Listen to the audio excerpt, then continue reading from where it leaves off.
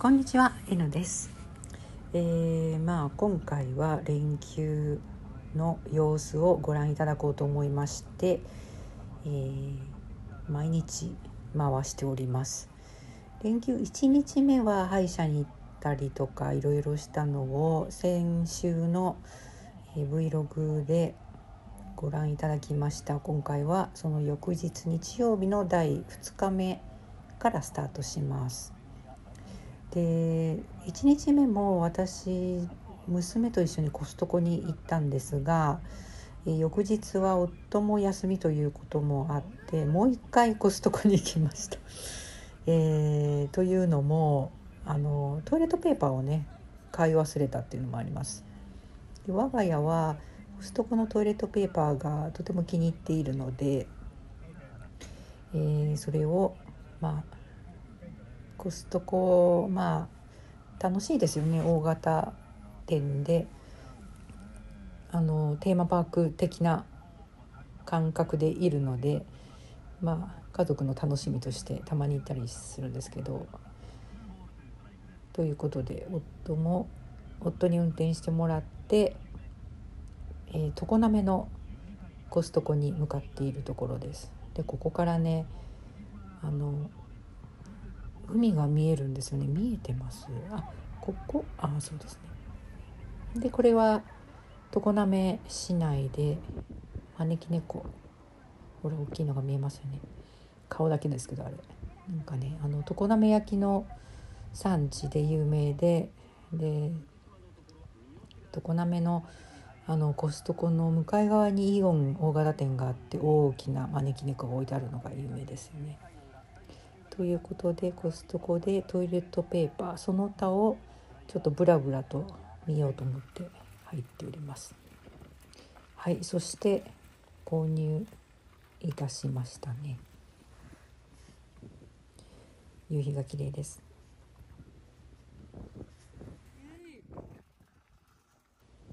購入したものはトイレットペーパーに、えー、食器洗い用洗剤バナナ手洗い用洗剤すぐなくなるんですよね。でバナナ美味しいです。あと夫が食べたいというので中華ちまき。それだけ買いました。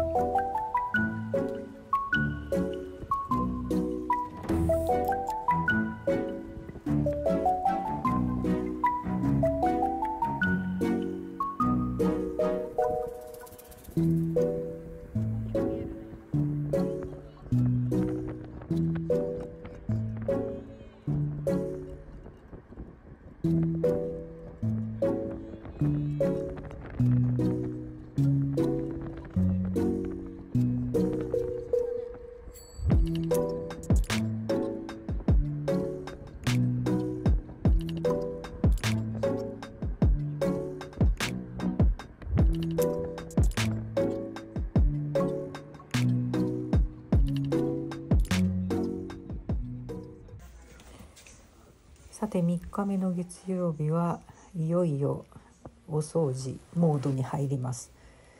でカーテンがちょっとまあカビ窓のカビがついてたりとかしたので一気に洗ってしまおうと思って洗っているところです。あと小窓の酸というかあの網戸の部分もカビが生えていて、まあ、見苦しいところお見せしたくないんですけれどもビフォーということでこれが我が家には10個10個あるのかなこの形式の窓がそれを一気に掃除してしまおうと頑張っているところです。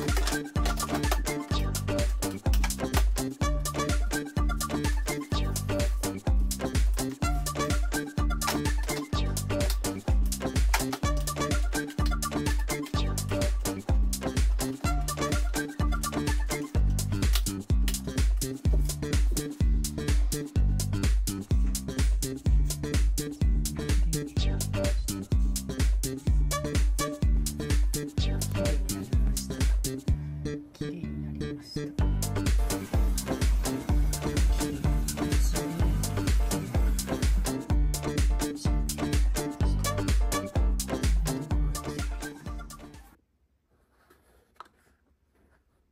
頼んでいた香水が届きましたのでその開封をいたします。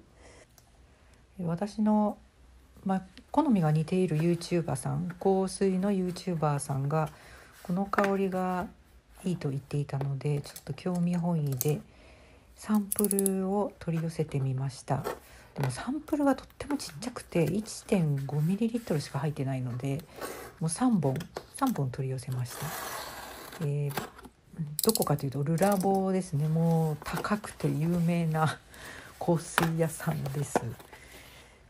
3本1本でようやく1 1本1.5ミリリットルで1000いくらかだからほんと高いですよね。3本でもう悠々3,000円超えているという。まあでも本当に興味があったので取り寄せました。あの公式えー、こう公式ページから取り寄せましたね。いろんなところからも出てますけれどもやはり取り寄せるなら公式がいいということでそこから取り寄せました。はい。ちっちゃいです。はい。1.5ml ですからね。でまあ全てテノワール29という。そうなんですよ。テノワール29がいいと言っていたんですよね。で名古屋にもあの1店舗あるんです最近この4月に4月だったかな3月だったかにオープンした、えー、ショップがあって高島屋名古屋駅の高島屋にでそこに、えー、香りをちょっと試しに行ってみてあうんこういうのかと思って気に入って。であの、まあ、サンプルはくださらないので紙に浸したものをいただいて手帳に挟んでいつも香ってたんですけど本当にいい香りなんですよね。とはいえとてもとてもとてもとても高いのでもうサンプルだけ取り寄せてみました。もしかしてあのまあ大きい瓶を買ってしまってね、えー、一番いい大きいのだと4万円くらいかするんですけど今円高だしそれでダメだなと思ったら大変なことになるのでまずは、サンプルだけ取り寄せたというところです。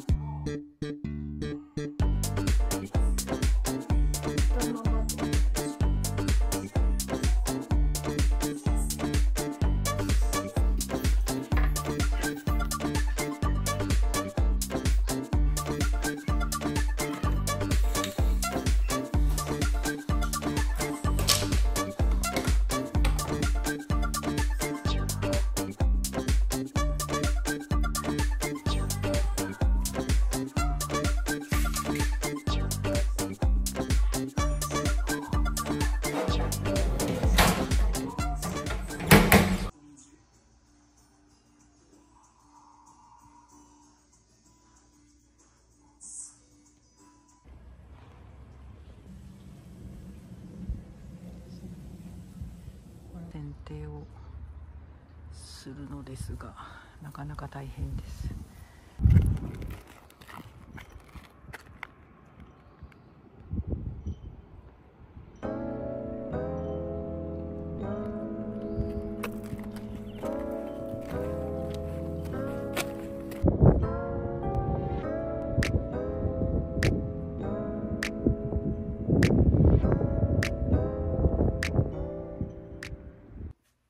さて8日目です冬使っていたストール類を一気に洗いました。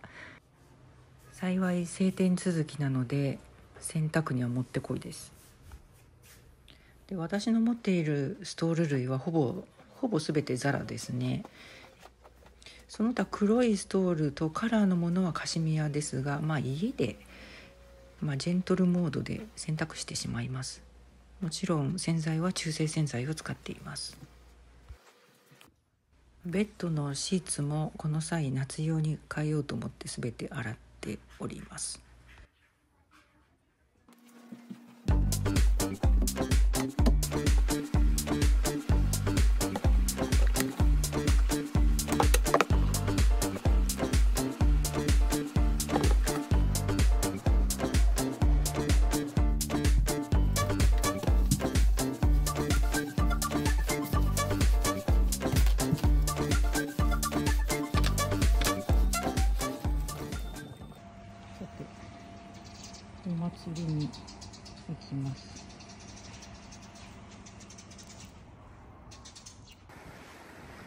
が町にもまあ川は住んでないけどこんな綺麗なところがあったんだね。我が町名物ですね。土管坂。まあ新しいタイプの土管ですね。もう一本向こう側が土管坂って言って古い時から土管が積まれている積まれている坂がありました。やっぱりこの辺海があるんで水門があるんですよね。さてさて絹浦大橋渡ります。この向こうがお祭りの場所です。気持ちいいですね。青空。橋の真ん中辺です。えーと、向こうに見えるのが碧南の方です。こっちが知多半島でこっちが愛知県の本体の方ですね。河口です。こんな綺麗な公園があるんだ。いつもここ車で通ってるんですけどコストコ行く時に。全然こんなところ知らなかった。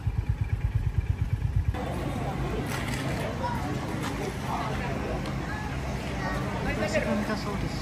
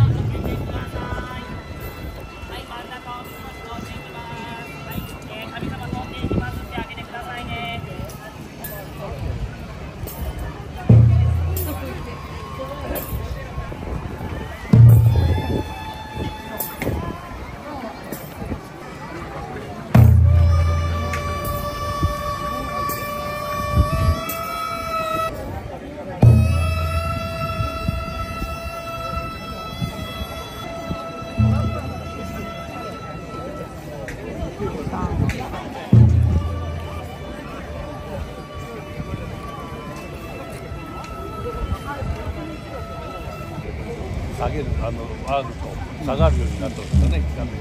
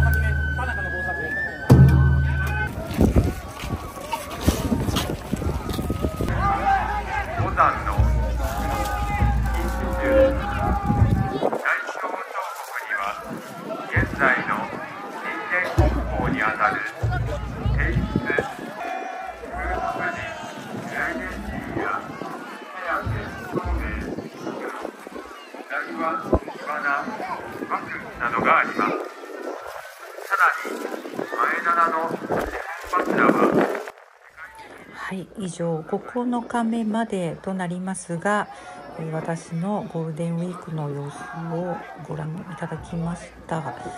えーまあ、遠くに行く旅行に行くということはしなかったんですけれども6月に香港行きを控えているのでまああのこの長い休暇は家の整理お掃除に勤しみました。